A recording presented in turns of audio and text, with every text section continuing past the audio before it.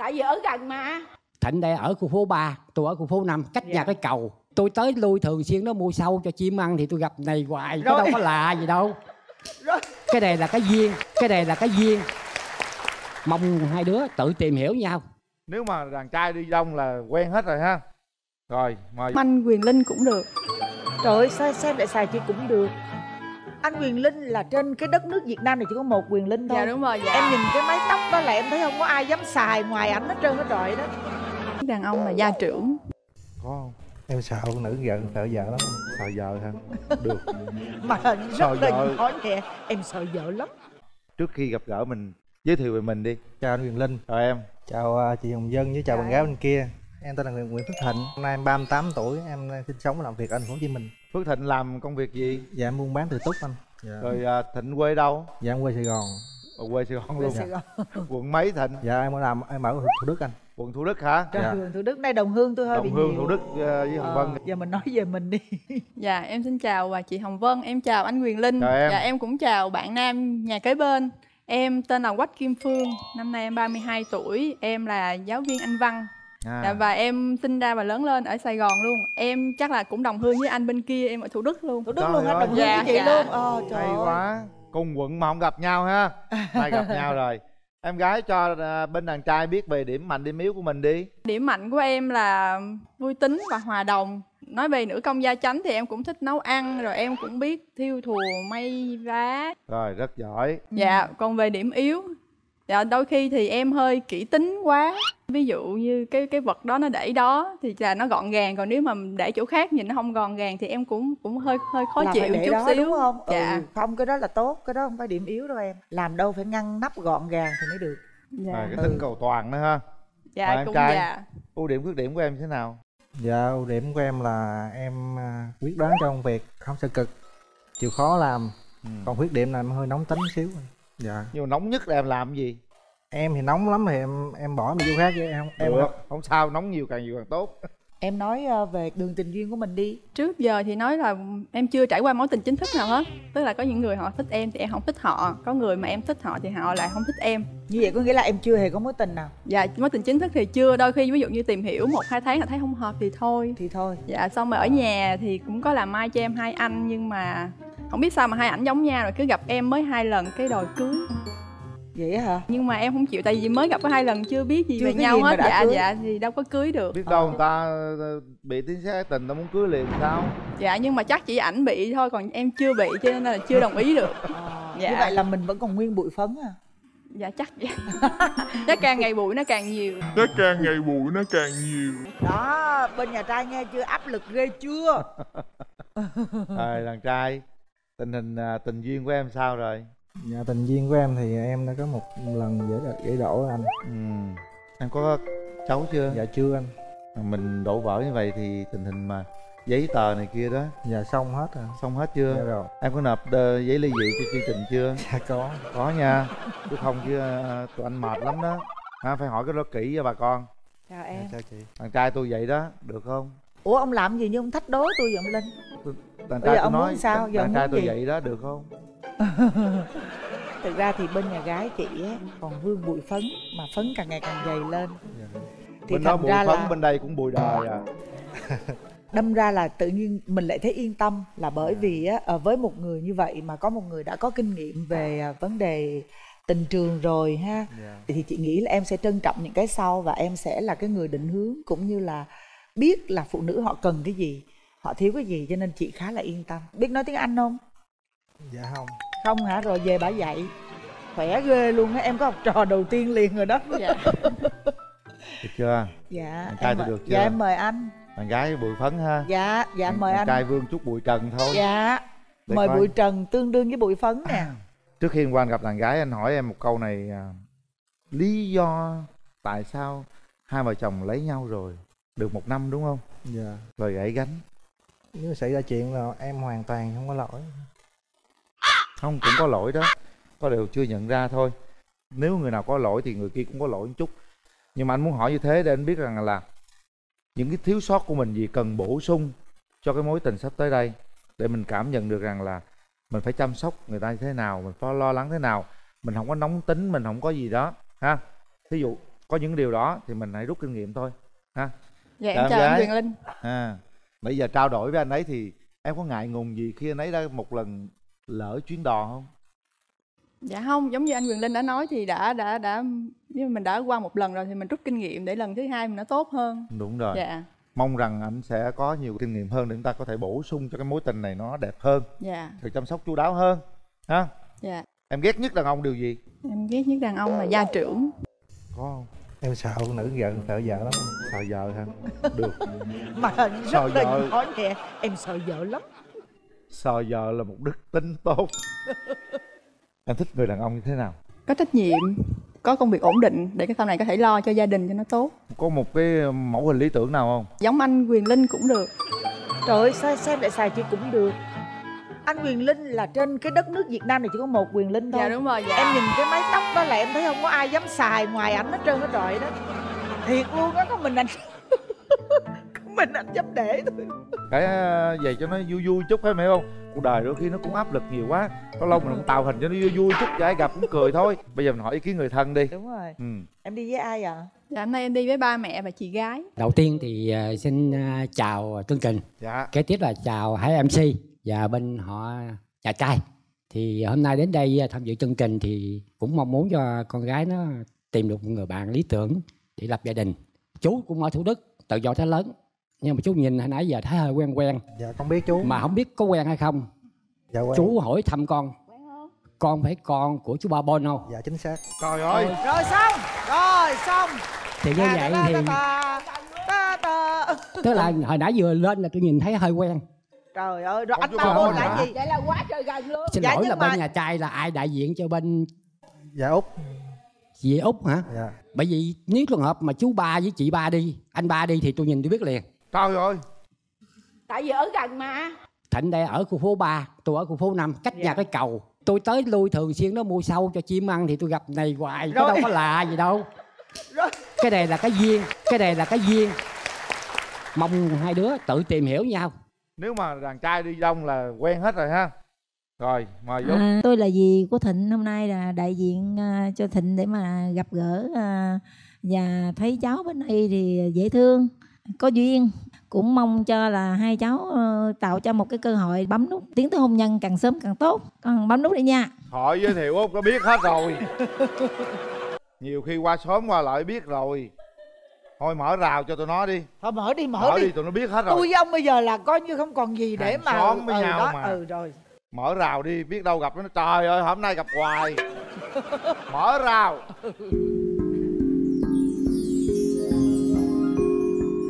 Dạ em chào anh.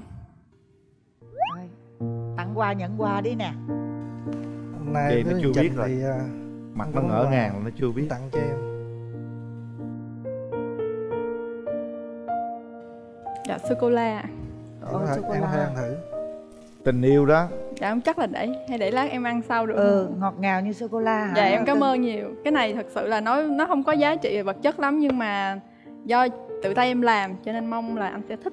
Dạ tại vì cũng đang mùa dịch nên là em may một ít khẩu trang để tặng anh. Để anh có thể dùng mỗi ngày để anh nhớ tới em mỗi ok ngày. em cảm ơn tự nhiên nay hai màu xanh rồi cũng ngắt xanh ha mặc ờ, đồ cặp đồ. Thật á. Giống như ông bà mai tây thì cũng nó tím riệm qua tím riệm á. Đàn bà mặc đồ tím coi được đàn ông mặc tím kỳ lắm á. Mà cái áo của ông nó sặc sỡ hơn của tôi nó có một chùm bông ở đây nữa nè. Hết hồn à. Ai lấy áo này gì trời? Anh với anh này ở gần rất là gần nhau nhưng mà hôm nay mình mới biết. Dạ đúng rồi. Hôm nay mới gặp mặt. Gặp em thì anh có ấn tượng gì không? Anh có hơi bất ngờ xíu. Bất À, ngờ sao? Bất ngờ tích cực hay tiêu dễ, cực? dễ thương hơn em nghĩ. À tức là dễ thương Dạ, hơn em tưởng ơn. tượng đúng không em có có nghĩ là bà mẹ nàng dâu này chồng như thế nào không? Nàng dâu mẹ chồng thì em nghĩ là chỉ cần mình thương mẹ chồng như mẹ ruột thì mẹ chồng cũng sẽ thương mình như con gái ruột thôi. Em có gì muốn hỏi anh không? Dạ em có vài câu hỏi là không biết là anh có có hút thuốc hay có uống bia được không? Cái hút thuốc thì em anh bỏ cũng lâu rồi. Thì à, còn bia rượu thì phải có tiệc tùng mới mới uống chứ không có uống à, lung tung nếu sau này ở trong gia đình thì à, anh có sẵn sàng giúp đỡ vợ à, cái việc nhà hay không? Chắc chắn rồi.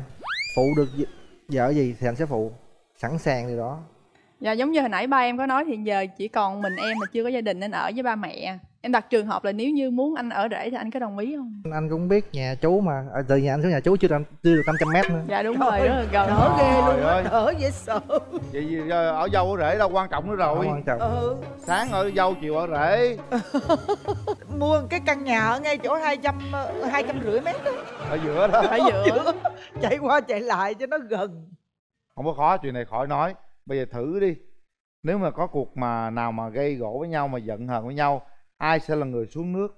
Thì nếu mà xảy ra bất đồng quan điểm giữa hai người á thì anh sẽ người là người bỏ đi chỗ, khác trước để sau đó mà quay lại nói chuyện. Tại lúc mà mình đang nóng thì mình nói không có gì ra gì hết trơn á. Dạ đúng rồi. Rõ ràng quan điểm của bạn Dạ. bạn rất đồng ý với cái cách đó của em vậy là thấy vui rồi thấy khỏe rồi. Đó. Cái lúc mà người ta bỏ đi mình ở nhà mình kiếm gì ăn em? Dạ hoặc là mình lấy tiền đi đi shopping. Đúng rồi đó vậy đi. Dạ. Cái ông hết dám đi nữa. Bây giờ thịnh à, đứng lên ha mình bước tới à, bạn gái. Nói cái gì chân thành nhất á. Dạ. Đó. sát bên nhà mà. Anh hy vọng là sau ngày hôm nay anh với em tìm hiểu nhau nhiều hơn. Có thể là mình cho nhau một cơ hội. Quá trời hay luôn. Rồi trở về với ghế ngồi để tay mình nút bấm. Kiểm tra con tim của mình. Nếu thật sự chúng ta cảm nhận đây là người có thể cùng nhau đi suốt quãng đường còn lại thì bấm. Còn nếu không không cần bấm sau 3 tiếng đếm. Một hai ba. Hết thời gian. Cạch cạch rồi tôi thấy hai cái cạch cạch rồi đó. À.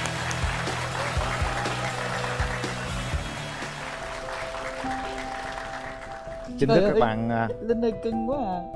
Nè hai cái màu xanh hai cái màu tím cưng sao đâu á. Ai đưa túi áo kỳ quá. À, hôm nay chính thức là các bạn hẹn hò với nhau trước mặt đại diện hai bên gia đình. Đầu tiên bây giờ thịnh nói gì với cô chú đi. Thưa chú à, thì à, hôm nay con đến đây tham gia chương trình thì cũng là cái duyên. Con không con không ngờ không ngờ là gặp cô chú ở đây. Thì con xin phép cô chú là cho con tìm hiểu bé. Thì à, con sẽ cố gắng làm hết cái khả năng con là có thể lo cho bé là hạnh phúc.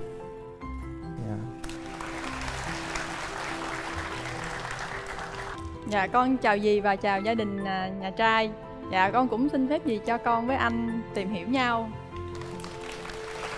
Thật sự đây là một cái duyên rất là tuyệt vời. Chúc mà bây giờ hai em. là bây giờ là nụ hôn đầu tiên mà thịnh dành cho bạn gái của mình. Dạ con xin phép chú. Được không em? Phải được thôi. Dạ. Rồi. Mời bạn nam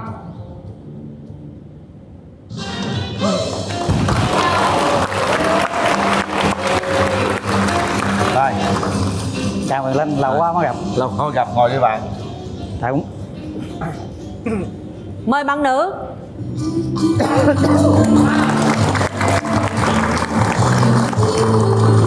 Mời em ngồi. Xin chào à, chị Cát Tường, xin chào à, Rồi. anh Quyền Linh, xin chào bạn trai màn Ngồi, ngồi, ngồi đi rồi chào, ngồi rồi chào. Bình tĩnh. Rồi chào đi Rồi. em. Dạ, xin chào chị Cát Tường, xin chào anh Quyền Linh, xin chào quý vị khán giả ở trường quay ạ. rồi Em tên- chào em Dạ, em giới thiệu về mình đi Dạ, em tên là Nguyễn Ngọc Bích Châu, năm nay 26 tuổi. Nghề nghiệp của em là nhân viên bán hàng của công ty ờ, Bích Xăng, làm tại cơ có Food Laura, quận 9. Quê em ở đâu? Dạ, quê em ở Sài Gòn ạ. Quê em Sài Gòn, làm bán hàng quận 9, ở quận 9 luôn Dạ, ở Bình Thạnh. Ở Bình Thạnh, bán hàng quận 9 Dạ, Rồi, bán thịt heo đúng không? dạ đúng, Bích xăng, dạ đúng. à, bán thịt heo Nghề nghiệp bán thịt heo ở quận 9 ta nói biết trai. xăng đi ai nói bán thịt heo? Rồi bạn châu nhiêu tuổi ta? Dạ, năm nay em 26 tuổi anh. bạn châu 26 tuổi. Mời bạn trai. Dạ, xin chào quý khán giả và chào Quyền Linh. Rồi em. Và chào chị Cát Tường và chào bạn gái bên kia Chào em.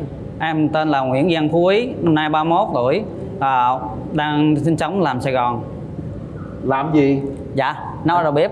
Đầu bếp Dạ, đầu bếp là Quán gì, bán cái gì? dạ bán phở chị ơi. Ồ, à em nấu phở được luôn hả? Dạ, Thôi, Bán cho gia đình mua hay là- thức xăng rồi mua thịt heo là được rồi đúng không? Đúng rồi. Bò anh ơi.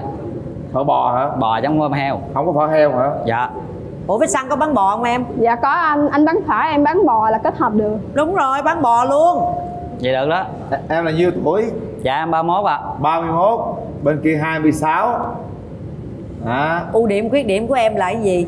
Dạ ưu điểm của em là vui vẻ, hòa đồng. Mọi người nhận xét em là người à, hiền. Với lại ưu điểm em là ăn.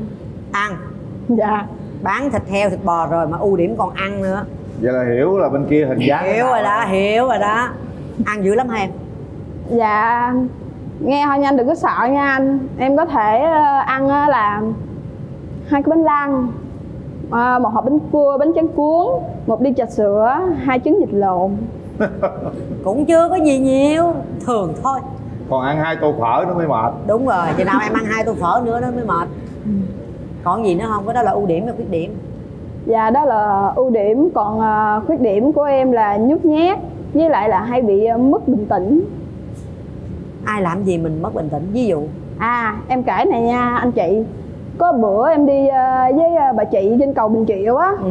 Em gặp cái thằng kia. Nó kêu ê cái em tưởng người quen Em mới quay lại. Em gặp cái thằng biến thái. Em sợ. Em la lên. Bà bà chị em hỏi vụ gì? Em mới chỉ chỉ chỉ. Em nói cái thằng thằng biến thái. Em quản em đơ luôn. Em không có lái xe được nữa. Phải để cho bà chị Bà chị em lái. Dạ. Vậy một lát nữa kéo cái màn ra. Kéo cái rèm này ra mà em la lên là biết bên kia biến thái. Trời ơi. Ta ví dụ thôi. Thôi Vậy bây giờ có đâu chị ơi. Ưu điểm khuyết điểm là gì ưu điểm em á thì à, nấu ăn và hòa đồng với à, à, thích giúp à, mọi người nhất là đây làm cuộc các cuộc từ thiện. Em à. nấu ăn lâu chưa? Dạ cũng gần 10 ạ. 10 dạ. năm rồi. Dạ. Đồ bếp chuyên nghiệp luôn. Dạ không có chiên gì đâu có, món- có, có, có món à anh ơi. Con phở thôi hả? Dạ món bò thôi. À phở bò em bán ở đâu? Dạ gò dấp á đường lê văn thọ à. mình làm cho người ta hay là, là làm cho gia đình? Dạ làm cho anh ta chị ơi. À. Rồi vậy nãy giờ tưởng đâu chủ quán phở. Tại sao mình không mở quán phở? Mình nấu 10 năm mình không mở quán phở mình bán riêng. Giờ nó kinh kinh, kinh tế khó khăn giờ cũng muốn mở cái mặt bằng nó không phải là cũng ờ, phải kiếm cái mặt bằng cho nó hợp. Thứ hai nữa là cái mặt bằng giờ nó cao quá. Giờ tôm phở thì ra rất nhiều.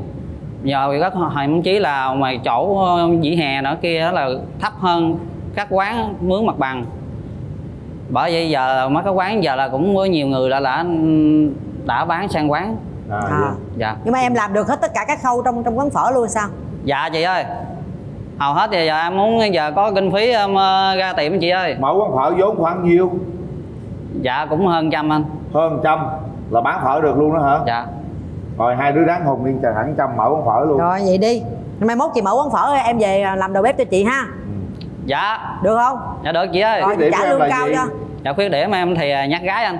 Nhát gái. Rồi gì nữa? Chứ ờ, cái là hơi tánh ờ, hơi cọc cái mà mau quên lắm. Thấy con gái sao là nhát? Dạ nói chuyện nói chuyện dài câu cái là em yêu không biết nói chuyện gì nữa đó ai? Em.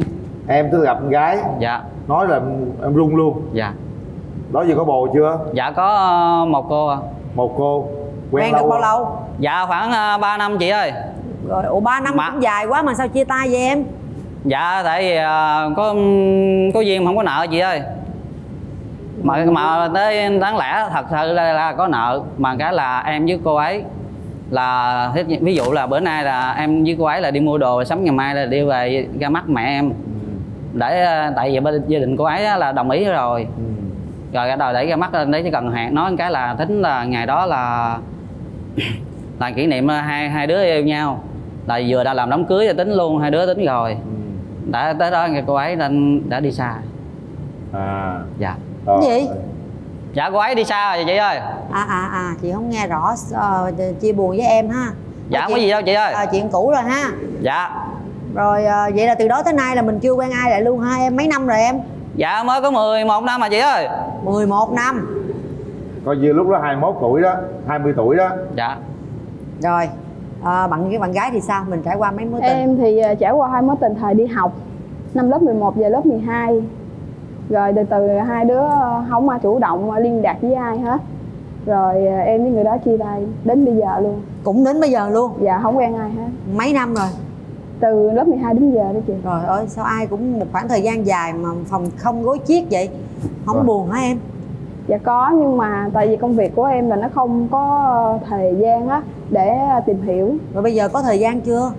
Dạ em nhờ tới chương trình bạn muốn hẹn hò. Nhưng bây giờ nếu mình tìm được cái người để mình hẹn hò thì mình có thời gian để hẹn hò không? Dạ có để mình để em sắp xếp. Sắp xếp ha một Dạ. lát hai bạn hãy sắp xếp thời gian với nhau sao cho hợp lý đang đi chơi. Dạ. tìm hiểu với nhau nhiều thì mới nhanh tiến tới hôn nhân được. Dạ. Đúng không? Dạ. Bây giờ em muốn tìm mẫu người bạn trai như thế nào? Mẫu người của bạn trai em cao 1m65 da ngâm có luôn rồi gì nữa? Nói luôn cho bạn trai bên kia trả lời luôn. Da ngâm hơi trần trần tí không có có luôn. Không có cần ờ, ốm lắm không có mập lắm đâu là được rồi. Men men tí nữa. Có không? Có ben men không? Có luôn chị ơi. Có luôn em ơi. Tới luôn. Rồi gì nữa không em? Điều gì em ghét không thích ở người bạn trai? Keyboard gia trưởng. Cái đó không có em ơi. Dạ. Keyboard gia trưởng không biết ờ, quan tâm chị. Dạ cái qua không quan tâm mà cái này rất quan tâm luôn. Ngày nào cũng cho ăn phở đều đặn. Còn Hết. gì nữa không em gái? Hết chưa? Dạ hết rồi anh. Hết rồi hả? Rồi. Rồi bạn trai. Cái công việc của bạn ờ, bắt đầu sáng từ mấy giờ? Dạ sáng 5 giờ tới ờ, tới trưa 11 12 giờ. Suốt luôn vậy đó hả? Dạ. sáng 5 giờ về làm gì? Thì